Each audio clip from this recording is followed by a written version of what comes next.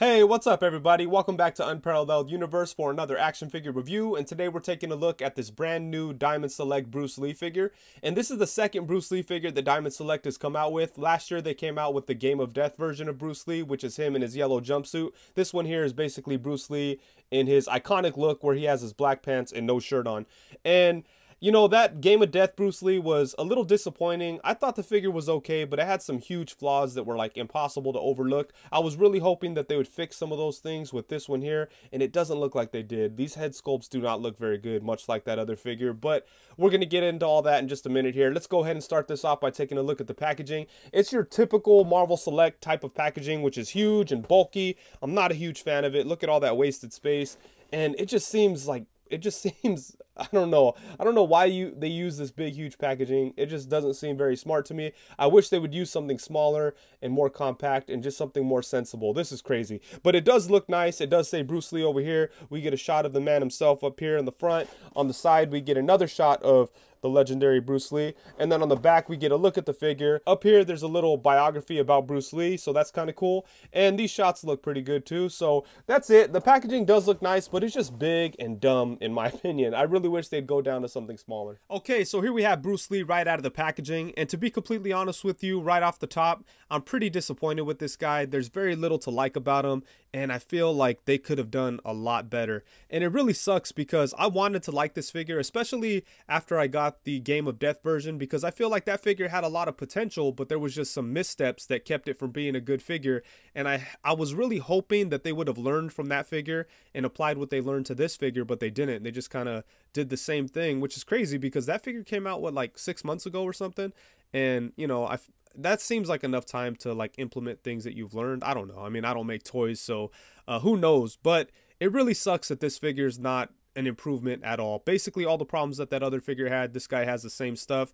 But, you know, like I said, I was a little forgiving the first time around because I figured it was their first time. Maybe they'll get better. But uh, they did not. This figure just feels like really, really old. If this would have came out like 15 years ago, it probably would have been pretty cool. But nowadays, the standard is different. And, um, you know, for figures at this price point, we're getting some amazing things from other companies like NECA, Hasbro, you know, even McFarlane at this point. There's a bunch of other companies doing toys in this scale, and they're doing much better than what we have right here. You know, this guy. I mean, they, this guy shouldn't have come out, to be honest with you. They probably should have just canceled it or something because um, I feel like it, it's a disappointment. And you know what's crazy about this is if you saw my review for the previous Bruce Lee figure, then you know that mine came with some pretty bad paint imperfections in the face. There was some really bad QC issues. And what's a trip is that this figure has some QC issues right on the face too. They aren't as bad, but right on the nose, there's some paint missing. Like, what kind of shit is that? That is super crazy. So that's very disappointing. And, you know, I've seen this Bruce Lee figure in the stores, and I noticed that there wasn't a bunch of paint imperfections all over the face or anything like that because I looked for it since I had that on my previous one, but I didn't see that. But on the ones that I have, they both have paint imperfections. And I will say this both this Bruce Lee and the previous one were review samples from Diamond. I reached out to them saying that I wanted to review their figure, and they sent me these two Bruce Lee figures. So that's awesome and everything, and I, I really appreciate it. So I hope that I don't come off as like disrespectful in this um, review, but you know, if it's no good, it's no good. But what I was gonna say is maybe the two that I got were like rejects or something, and that's why they they were able to send them to me as uh, for review samples, which you know is dangerous. Obviously, it's not like I have a million followers or anything, but the couple people that do watch my video are gonna see these things and be like, you know, I'm not gonna buy them. They they have bad paint imperfections on the face. What kind? Of, that's crazy. So you know, who knows? Who knows what the situation is? But all I know is that both of mine had some really um, unacceptable paint imperfections in the face. But anyway, enough crying for now. Let's go ahead and take a close look at this figure. Okay, so starting off with the head here, as you could see, it's not a very accurate looking Bruce Lee. It kind of looks like a 1997 Happy Meal toy version of Bruce Lee. So that's kind of weird. It looks like as if like they were going for Bruce Lee but didn't quite have the technology to give us an accurate version of it. But, you know, that's not the case. We know that um, toy companies are completely capable of giving us really good face sculpts. But in this case, it just didn't happen. It seems like maybe they didn't use all the resources that they had available or something, but it just doesn't look that good, man, and it's it sucks. But check out that paint spot on the nose. That shit is crazy. But anyways, taking a look at the hair here, I'm trying to find an angle where this face looks like actual Bruce Lee. can't really can't really do it, man. That's crazy. But anyways, moving on here. I do like the body sculpt. I think the muscles do look good, but the paintwork on here isn't very good. Check out the slop right there on his chest. But the actual sculpting of the muscles is very well done. I'll say that for sure. And then we have these uh, very deceptive joints here on the shoulder. They kind of look like they're butterfly joints, but they aren't. And let's take a look here. We have some like paint chipping in the joints and stuff, but you know, that's not too horrible. That's bound to happen. Got some more over here. The skin tone looks okay on the arms. But then on other parts of the body, it's a lot more shiny. Especially on the face, which, I don't know, man. Looks weird. Doesn't look very realistic. It looks very toy-like. Obviously, it's a toy. I get it. But, you know, based on other things that we've seen out there, um, you know, they're capable of doing a lot better than they did here as far as the skin goes. But uh, yeah, I will say again, I do think that the sculpting work on the chest here is very well done. The muscles do look really, really good. Some of the paint work could have been a little bit better, but it's not too bad other than that, you know, smudge right there. And then down into the pants, they are uh, like black with like a blue wash or like a blue shade to them. They look pretty cool. I like the color of the pants. And the, creases there towards the bottom look good. The shoes look okay. These big ankle joints are kind of weird, but you know, they're not too bad. And that's pretty much it for the details and stuff. Yeah, some of the skin looks pretty good. Like right here, this looks like actual skin, so that's cool. Yeah, some of it looks pretty good, but the main part where it counts does not look very good, so uh, you know, it is what it is. And as far as the accessories go, he actually comes with a lot of really good stuff multiple hands, weapons, all that good stuff. But it's a little bittersweet because he's not really able to hold on to his weapons because his weapon gripping hands are just too wide open and his things just don't fit in there. Check this out. Whoop! Goes right through, man. What the hell? What kind of shit is that? That is just crazy that they would allow this to happen. Especially since I believe this was the case on the first one, which again, you know, you could chalk it up to an, a mistake or, you know, them having to learn something or whatever. I get it, but, you know, on the second one, come on. Like, this should not have happened. This hand is a little better. You could balance it in there, but again, once you try to move it, it's going to come right, it's going to fall right out. So you could probably, uh, I don't know, man. That's just so so dumb. So I don't even know another word to use for it. That's just so. I guess lazy is a better word. Like, why wouldn't they fix that? They had to know that that was a problem with the first release. You would think that they'd fix it, but they did not. So that's very unfortunate. And aside from those gripping hands, quote unquote, uh, he also comes with a set of fists, and then he comes with a set of even looser open hands. And then he has another set of open hands, and these are pretty cool. You could definitely use them when you're putting him in martial arts type of poses. And then he does come with two different head sculpts, and we've already seen this one here, but just to take a quick look again, as I said, it's not very good, and he does have paint missing on the nose, which really sucks. And as bad as that head sculpt is, it's nowhere near as bad as this. This is a monstrosity. I'm not sure what happened here, but this did not come out very good. First off, there's QC issues here. A lot of the paint doesn't really match up on the hair, and then there's a bunch of skin tone color in the black of the hair. So that's pretty stupid, and I try to wipe it off. It's not coming off, so that sucks.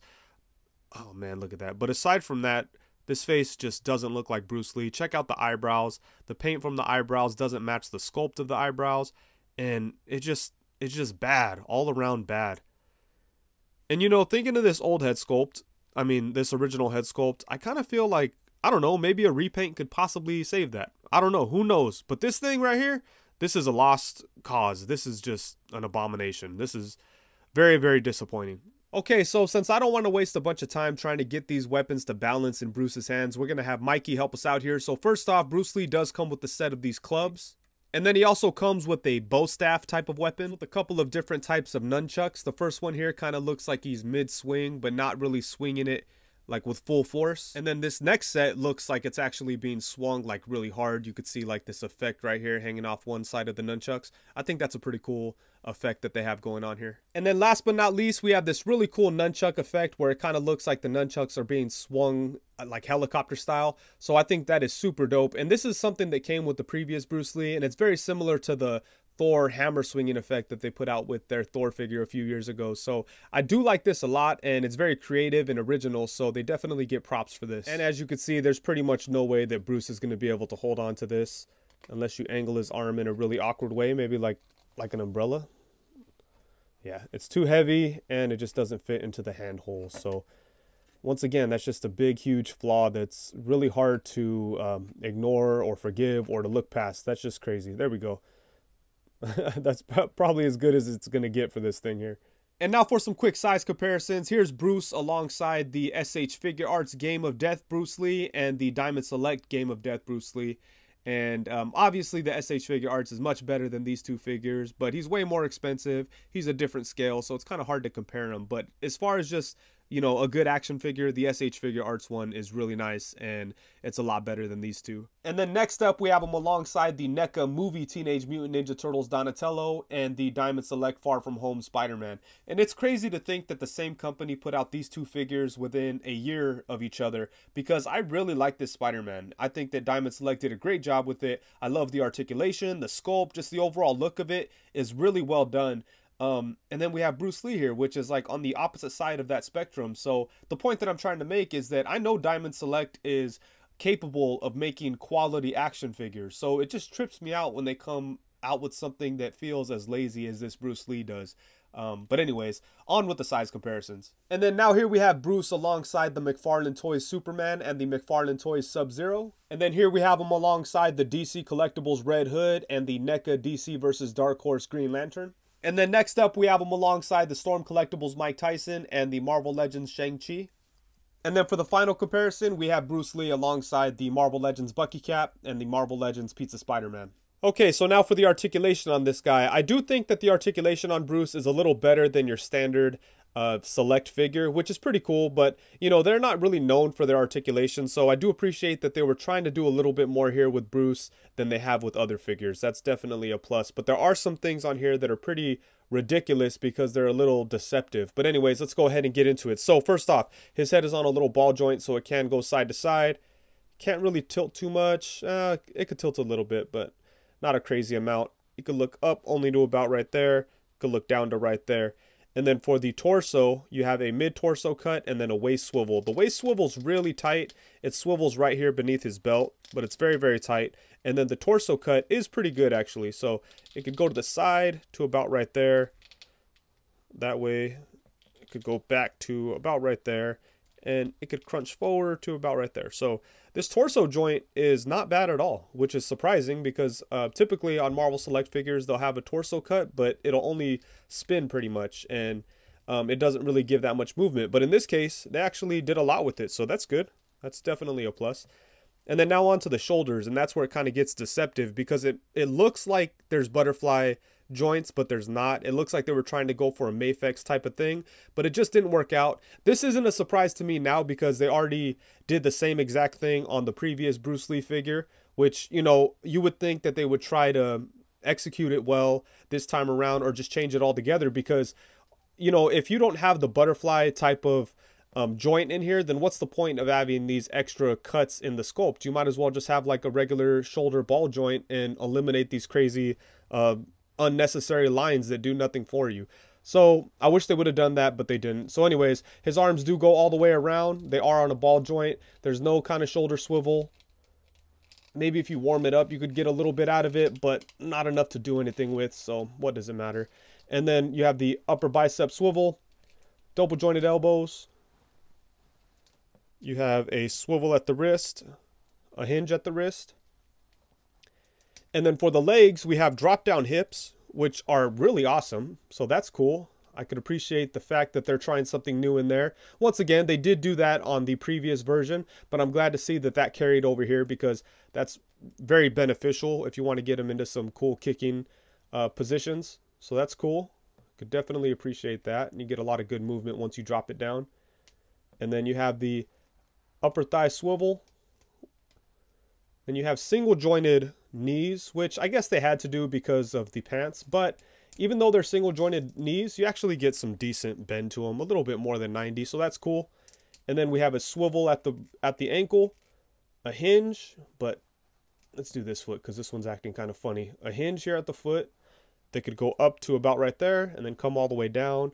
And then he does have rocking ankles. So, you know, the articulation isn't horrible on this guy. Actually, I think that's probably one of the positives to this figure is that the articulation is pretty decent. Um, I don't like the way they did the shoulders. I think they should have just done away with trying to copy the Mafex style and just did a typical uh, ball joint shoulder or just went with straight on traditional uh, butterfly joints. I think that would have been awesome. It worked for Shang-Chi, right? But, you know, I'd say that the articulation on this guy is pretty decent. You know, I don't hate it at all.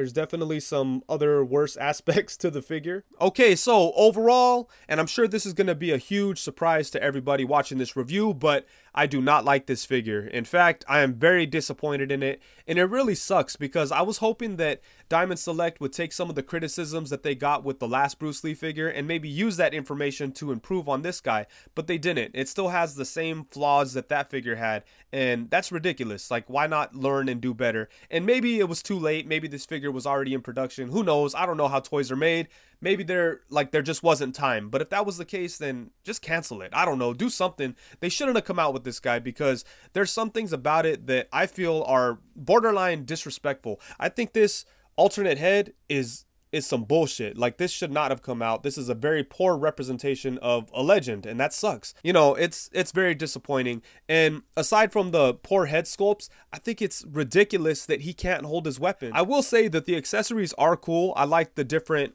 nunchuck effects. I think these are pretty awesome, and I will find use for these. I like the clubs. I think they're cool. I like the bow staff even too. I think this bow staff is awesome. Maybe I'll use it as like a pointer or something. Who knows? But you know, aside from the accessories, I will say that I think the sculpt on the body is pretty good too, and the articulation is decent. It's not the best thing ever, but it's pretty good, especially from a Diamond Select figure. There are a couple of flaws, like the, I think the shoulders are just stupid because they should have chose a path you know they should have given it given us butterfly joints or not but here they did like something where they were trying to or they wanted to make it seem like it had butterfly joints but it doesn't so i'm not sure what they were going for there um, they were trying something that just didn't work but it didn't work with the first bruce lee figure so maybe they should have tried to change it here but they didn't and that's the thing that's really disappointing about this figure is that there's a lot of things here that I mean, they could have prevented if they just learned from the last release, which they, they chose not to take any information from that last release and improve on this guy. And I think that's the biggest like injustice here because with the first figure, I mean, I, I I don't hate it, but there's definitely a lot of flaws with it. And I was a little bit more forgiving on it because it was like, oh, you know, the first one, maybe they'll get better next time. But now they didn't. And it kind of makes me dislike that other figure a little bit more because now it's like, oh, this is as good as they're going to get with it. And that kind of sucks. But, um, you know, anyways, uh, I really hope that I didn't come across as like crazy disrespectful in this review because as I said, I did get these as review samples and I'm I'm beyond grateful for that. I think that is awesome that they hooked me up with that and I really do appreciate it. But at the same time, you know, I, I gotta be honest, man. This figure this figure sucks. And I hate to say that because I don't like to talk negative about toys. That's like one thing that you will know about my channel if you follow me for any amount of time. You know that I like to enjoy toys. I'm usually very positive when it comes to action figures. I don't like to talk bad about them because they're for us to enjoy. But, you know, with this guy, I just got to be honest about it. And, um, you know, I feel like I have to be a little bit more honest because I, I got it as a review sample and I have to do my best to make sure that you guys understand the experience that I had with this figure so that, um, you know, you can make a informed decision as to whether or not you want to buy it. So hopefully I achieved that. And like I said, huge thank you to Diamond Select for giving me this figure, but you got to do better. That's all, that's all I want to say. But anyways, I think that's it. Thank you so much for watching. Please be sure to like, comment, subscribe, and all that good stuff. Thank you very much. Peace.